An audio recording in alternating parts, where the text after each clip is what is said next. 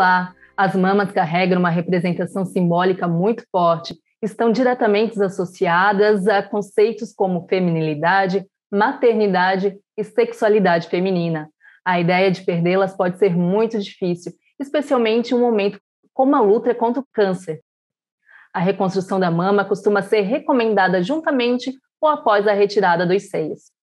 Para tratar sobre o tema, o Saúde em Pauta convidou o cirurgião plástico e membro da Sociedade Brasileira de Cirurgia Plástica, Eduardo Fraga. Obrigado, doutor, por aceitar nosso convite, por falar desse tema que é sempre muito importante. Eu que agradeço, é, principalmente agora, né, no mês é, que todos os anos se repetem aí, que o Outubro Rosa, e justamente para lembrar dessa importância, né, dos exames de mama e da, e da questão de autocuidado mesmo é, feminino e conseguir divulgar isso para todo to, todas as pessoas, né, em todos os, os cantos do, do país. Então, doutor, para começar, vamos falar sobre a reconstrução. Como reconstruir uma mama e como que esse procedimento é feito? Primeiro, a gente sempre tem que colocar a questão é, do diagnóstico que se dá através do autoexame mamário e através de exames diagnósticos, né? Nós temos o ultrassom, nós temos a mamografia, é, temos a ressonância magnética, nós temos as punções. Então, a partir um momento que haja suspeita pela mulher, independente da idade, não somente pessoas é, com mais idade que tenham é, que tenham câncer de mama, pacientes mais jovens podem ter, é necessário procurar um especialista, um mastologista num, num primeiro momento, um ginecologista também com experiência em, em exame mamário, para fa fazer o, o, o, diagnóstico. A partir um momento que o diagnóstico é feito, ele, a, o câncer de mama não é algo que defina que a mulher perderia toda a mama. Vai depender sempre da questão do tempo de diagnóstico, a precocidade do diagnóstico, que é muito importante. Se tiver a suspeita, quanto antes se fizer o diagnóstico, menor vai ser o, o a intervenção na mama. Então, um, um, uma retirada de um, de um pequeno câncer de mama numa fase inicial, ele vai trazer uma sequela muito pequena, algumas vezes até inaparente. É, é, o, o, cirurgião plástico, né, junto com o mastologista, a gente pode fazer a reconstrução é, imediata, é, fazer uma mamaplastia e deixar uma mama muito parecida como se nunca tivesse tido aquele câncer de mama. Nós podemos também ter cirurgias é, mais agressivas do ponto de vista cirúrgico pelo mastologista, onde é preciso tirar um pedaço maior da mama, inclusive, né, como é o medo realmente né, de todas as mulheres de fazer uma retirada completa de uma ou até de das duas mamas, de ambas as mamas. E aí, logicamente, dependendo do tipo de cirurgia, é que a gente vai precisar fazer uma cirurgia reconstrutiva de maior porte ou menor porte. Então, nós temos uma série de cirurgias, temos cirurgias é, de colocação, é, já reconstrução imediata, que é o recomendável na maioria dos casos, é fazer a reconstrução imediata da mama, para evitar que a paciente sinta aquela necessidade, que não, não veja que tenha tido a perda da mama. Então, com isso, pode-se colocar próteses com expansores que a gente vai, a gente começa a encher aos poucos para ter o volume da mama e depois substituir por uma prótese. Uhum. Nós podemos usar é, retalhos com músculo, com pele, para cobrir a área que foi perdida. Então, as técnicas de reconstrução, elas são é, motivo de, de, de, enciclopédias dentro da medicina, e, e, mas vai depender muito do grau que se encontra o tumor, né? O câncer da mama. Se esse câncer ele vai ser é, um câncer no estágio inicial ou no estágio mais avançado. E no caso da mastectomia total, qual procedimento o cirurgião plástico costuma usar? O silicone tem sustentação e há possibilidade de não colocar silicone e usar apenas a gordura do corpo? Sim. É, a, é, primeiro, é importante saber o que é né, o termo mastectomia total. É o, a retirada total da glândula mamária, do tecido mamário todo. Então, normalmente, o mastologista ele pode é, tirar a mama, deixar a pele e a areola. Isso é muito importante para a nossa reconstrução porque nós, nós vamos ter um resultado mais natural. Esse espaço que vai ficar sem a mama, ele pode ser preenchido, normalmente ele é preenchido com um expansor e depois com uma prótese, mas o mais comum realmente é que se utilize o expansor, se utilize é, é depois a prótese e por cima desse, desse tecido subcutâneo, dessa área de pele que fica acima, a gente colocar gordura. E aí, se, logicamente, como eu tinha falado, se já tiver areola, se já tiver os componentes da mama preservados pela cirurgia, que possam ser preservados, que não precisem ser retirados, nós vamos ter, vamos ter resultados mais naturais, mais bonitos. E é, quando se tem que retirar a areola, depois dessa expansão, normalmente é, é feito uma nova areola, um novo desenho de areola, ou com enxerto de pele da pálpebra, ou da região interna das coxas, e, e tem ou até uma, umas tatuagens hoje tridimensionais de areola.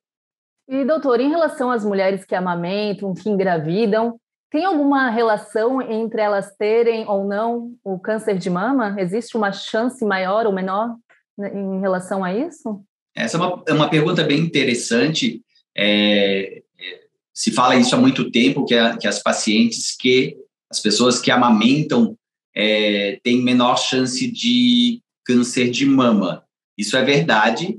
Na verdade, é, boa parte, a maioria dos câncer, cânceres de mama, eles são hormônio dependentes. Então, eles dependem do estrogênio feminino, né, que é o hormônio que tem nas pílulas é, anticoncepcionais, tem no próprio organismo, tem nas reposições hormonais. E esses cânceres, eles se alimentam, entre aspas, eles recebem é, o hormônio como um, um estimulador do crescimento. Então, quando a pessoa engravida, quando a pessoa amamenta, e hoje, se né, pela Organização Mundial da Saúde, se pede até em torno de dois anos de amamentação e seis meses de amamentação exclusiva, o hormônio que ocasionaria o câncer de mama, que é o estrogênio, ele diminui, justamente para ter essa produção do leite. Então, são outros hormônios que se que, que aparecem. Então, a paciente fica é, menos exposta ao estrogênio. E é isso que faz com que, no decorrer dos anos e no, no decorrer de mais ou menos gestações, a paciente tenha menos exposição ao estrogênio, que é o, que é o hormônio que poderia estimular um câncer de mama a se reproduzir. Além de que a gestação também vai renovar ali as células mamárias, né, e vai fazer ela completar o ciclo dela. E aí isso também diminui a chance de ter câncer de mama, sim. Sobre a prótese. A prótese, a prótese pode interferir na hora de fazer um exame de mamografia? Como esse exame é feito? pode surgir alguma dificuldade de encontrar um nódulo por conta da prótese? Não, na verdade, é, a, o implante mamário estético, é, ele tem é, a colocação atrás da glândula e atrás da musculatura. Né? Então, a gente pode colocar atrás da mama ou, ou é, atrás da, do músculo. Nenhuma das duas dificulta. Atrás do músculo facilita um pouquinho mais o exame, porque a mama ela fica solta é, da prótese, né? Pela prótese está atrás da musculatura. Quando é atrás da glândula, normalmente quando se prende a mama, a prótese está ali normalmente nesse conjunto. Quando se vai fazer o exame, sempre é interessante que se avise o, o examinador, a pessoa que vai, o técnico que vai é, executar o exame, e, logicamente, até o, o próprio médico que está fazendo, por exemplo, uma ultrassonografia. Por exemplo, na mamografia, é, se tem que posicionar o mamógrafo, que é um, um tipo de raio-x, para que ele seja é, feito numa posição em que a prótese seja rechaçada, seja retirada, para conseguir ver todo o tecido mamário. Uhum. Na ultrassonografia, que é né, o, a mamografia é o exame que seria é indicado a partir de 40 anos em todas as mulheres. É o exame que, é, que a gente chama de rastreamento, que ele consegue detectar pequenas, pequenos cânceres de mama. O ultrassom hoje também ele está muito sensível, é, se consegue ver tumores muito pequenos e no ultrassom a, a prótese não interfere em nada. A pessoa, né, o examinador, ele tem o contraste ali, ele consegue ver a prótese ele consegue ver as uma possível ruptura, ele consegue ver a cápsula da prótese. Então, na ultrassonografia, na ressonância magnética, a prótese não, não altera. Na, na mamografia, é que tem que ter alguns cuidados especiais na, na realização do exame, mas que isso, chegando para se fazer o exame, a pessoa já avisa que tem prótese e é só feito uma, uma imagem a mais do que seria feito é, normalmente. E é sempre importante lembrar que a mamografia ela é um exame de, de rastreamento de câncer de mama. Né? Então, ela não, não diz que a pessoa não, não tenha que fazer o autoexame. O autoexame ele é importante a partir dos, do início da, da mama, né? Na, da, da, vida mamária, da, desde a adolescência, é fazer o exame dos quadrantes mamários, a, a, a palpação. A, mam, a mamografia, ela, ela é, no Brasil, é, indicada a partir dos 40 anos de idade como rastreamento. Então, a pessoa pode... É, o ideal é fazer sempre o ultrassom junto, mas se não ultrassom e mamografia, pelo menos que se faça mamografia. E eu imagino que nesses anos de carreira, o senhor já deve ter feito inúmeros implantes mamários por diferentes razões e em diferentes mulheres. Uh, e muito se fala que na, na autoestima da mulher no pós-operatório. Como que o senhor vê essa autoestima da, da mulher após o implante da, de mama? Na verdade, eu acho que a gente pode falar é, da mama como um todo, né? A, a, questão da feminilidade, a questão do, do relacionamento da mama já com a mulher desde de adolescência, algumas vezes até na pré-adolescência, né? A gente olha hoje é, algumas é, pacientes é, muito jovens, com 11, com 12 anos, já com a mama desenvolvida, pacientes com, né, com a menarca, que é a primeira menstruação, muito cedo. Então, já existe toda essa preocupação, inclusive dos pais, né, de conduzirem esses casos. Uhum. Então, ali, ali começa sempre uma relação e a, a, a feminilidade e também a questão até de de, de algumas vezes a mama ser algo para paciente motivo de ela se sentir ou empoderada ou até envergonhada. Então, a gente recebe adolescentes, né, é, aqui no consultório, já com algumas vezes uma mama com um formato alterado, algumas vezes a mama é, já com um grau de queda anormal para aquela idade, né? Outras vezes a mama realmente aí, que é, é a indicação clássica, né, do silicone, que é aquela mama muito pequena. Então, a, a paciente algumas vezes chegando ali com 16, 17 anos e ela não se sente mulher porque ela a mama é muito pequena, é uma mama algumas vezes quase é, como se fosse um tórax masculino. Então, a paciente está chegando algumas vezes, né, como já aconteceu aqui comigo, uma, uma paciente chegando numa universidade, numa numa, num curso de engenharia é, é, com homens é, junto e, a, e ela não se sentindo mulher, ela se sentindo uma criança, né? Então, é, foi inclusive encaminhada pela mastologia, pela ginecologista e mastologista para colocar uma prótese de silicone.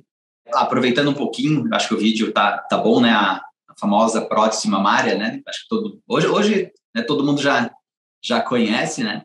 Mas a prótese hoje ela é muito, é, ela é, é, muito estável, na verdade, né? Então, esse líquido que tem dentro dela, ela, na verdade, não é um líquido, é um gel, né? Então, ele é um gel coeso, ele é um, um gel que ele fica dentro do, da prótese. Então, se eu pegar cortar essa prótese, é como se eu dividisse dois blocos, assim. Apesar né, de ter flexibilidade, né, ter maciez, justamente para deixar o toque da mama parecido com um toque natural, ela não espalha esse gel, se essa prótese por acaso tiver uma ruptura, né, os riscos hoje de, de desse gel espalhar ou migrar para outros tecidos é muito baixo, assim. Então a gente tem tecnologia, mas também tem, tem que ter responsabilidade na hora de indicar esse procedimento, né? Porque é um procedimento logicamente estético, a prótese na reconstrução é extremamente importante e é bom que a, a ciência e a tecnologia elas conseguem dá hoje para a gente melhor, melhores resultados, né? Para o paciente, tanto estético quanto o paciente de reconstrução. E só lembrando, né? É, realmente é, a gente tem esse mês, né, como um marco mundial é, da questão, né, que é o outubro rosa, é, mas sempre importante, né, é lembrar do, realmente do autoexame, a gente divide a mama como se fossem quadrantes, né, as quatro partes, sempre é, tocar, tentar sentir se sente algum nódulo é, diferente do que sentia habitualmente, isso é muito importante desde, desde a juventude, né, então o autoexame, o, conhecer o, o próprio corpo, não ter vergonha, tocar na própria mama, ver a mobilidade qualquer alteração realmente procurar o especialista, procurar o gineco, né, o ginecologista, procurar um mastologista, né? E o, o plástico entra é, normalmente quando é a questão da reconstrução, né, ou até realmente numa cirurgia estética, mas sempre ficar muito atento a isso. E quanto mais precoce for o diagnóstico, é melhor. E pior de tudo que no Brasil e nos países, né, hoje que, que a gente não consegue levar algumas vezes os exames para todos os lugares, ainda é, se faz diagnóstico muito tardio. Então, é muito, muito importante que não só em outubro, todos os meses, é, é, se fique atento realmente aos exames mamários. Doutor, obrigado pela participação, obrigado por aceitar o nosso convite para participar aqui do Saúde em Pauta. Eu que agradeço também o convite. Hoje conversamos com o cirurgião plástico Eduardo Fraga sobre reconstrução de mama. Obrigada e até o próximo Saúde em Pauta.